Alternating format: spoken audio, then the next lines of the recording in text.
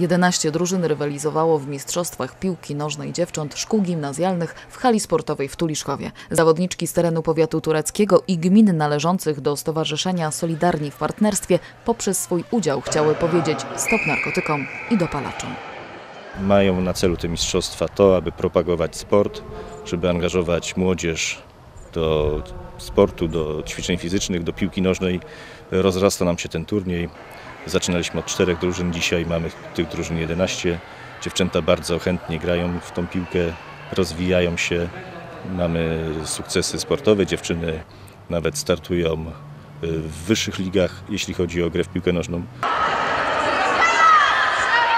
Historia mistrzostw sięga 15 lat. Organizatorem turnieju jest Gminna Komisja Rozwiązywania Problemów Alkoholowych przy współudziale Gminy Komendy Powiatowej Policji w Turku, Komisariatu Policji w Tuliszkowie oraz Oddziału Tureckiego Polskiego Towarzystwa Zapobiegania Narkomanii. Tego typu przedsięwzięcia mają zwrócić uwagę społeczeństwa na problem używania narkotyków lub dopalaczy przez młodych ludzi. Bardzo tu dobrą pracę wykonuje klub Medyk Konin. Dziewczyny mają blisko do Konina i te, które się wyróżniają, mają szansę trenować w Medyku, a także nauczyciele wychowania fizycznego e, w swoich szkołach pracują nad piłką nożną dziewcząt.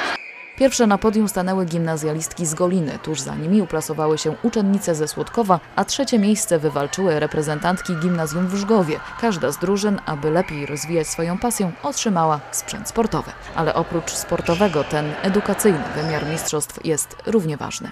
Myślę, że to szczytny cel. Problemy z narkotykami są nie od dziś, ale to problem narasta, mi się wydaje. I to ma temu służyć, a przede wszystkim dziewczyny mają się dobrze bawić na boisku i miło spędzić czas. Badania prowadzone wśród uczniów trzecich klas gimnazjum potwierdzają, że co czwarty uczeń kończący szkołę gimnazjalną przynajmniej raz sięgnął po narkotyki lub dopalacze.